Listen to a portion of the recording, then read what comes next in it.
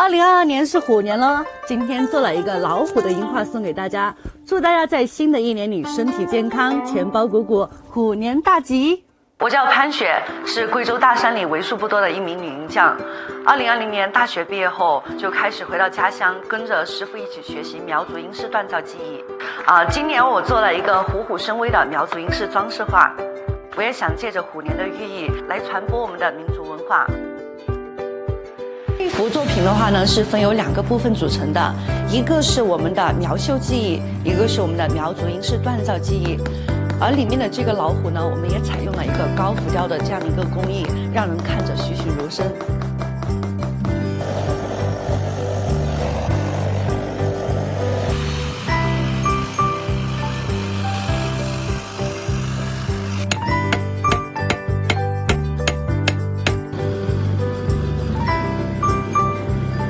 孩子的话，会力气会比较小一些，就比如那个锤银。我在锤的时候，我没锤几下银条，它已经冷了。再烧一次，然后再重新去锻打。挤花丝的时候，必须要把两个尺子对齐，然后把那个波浪形的那个丝呢，就放在里面，要用手这样去推，一两个一两个的一起慢慢慢慢推。然后呢，这样的话就会把我们这层皮就不知道磨到几层，甚至出过好几次血。因为这个东西的话呢，没办法用机器去做。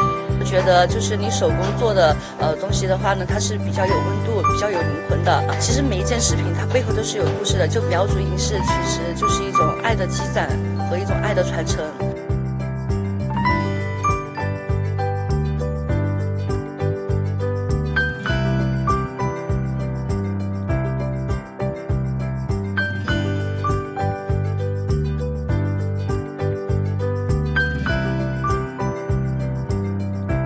们所有的那些有手艺的老一辈的那些手艺人都会请回来，我们要让所有的手艺人觉得，我们靠手艺真的可以吃到饭。